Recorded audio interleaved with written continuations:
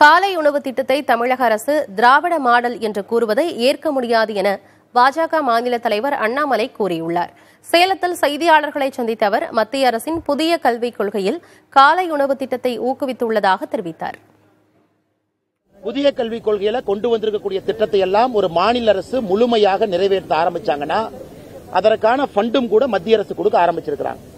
ஆனா தமிழக அரசு வந்து விதண்டாவாதமாக நாங்க புதிய கல்விக் கொள்கை ஏத்துக்க மாட்டோம். ஆனா இது புதிதாக இந்த காலை உணவு திட்டம் என்பது நாங்கள் கண்டுபிடிச்சிருக்கிறோம். உலகத்துல யாருமே இல்ல நாங்கள் கண்டுபிடிச்சிருக்கோம் அப்படின்னு சொல்வது இது வேடிக்கையானது கண்ணா.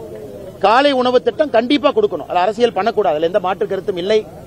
அது யாரு கொண்டு வந்தாலும் கூட மக்களுக்கு அது பயன்படணும். ஆனா தமிழகத்தில் அது திராவிட மாடல் என்று சொல்வதை ஏற்றுக்கொள்ள முடியாது. அதனால் காலை உணவு திட்டமாக இருக்கட்டும் மதிய உணவு திட்டமாக இருக்கட்டும் எல்லா குழந்தைகளுக்கும் இன்னும் சத்தாக குறிப்பாக நியூட்ரிஷஸா கொடுக்கணும்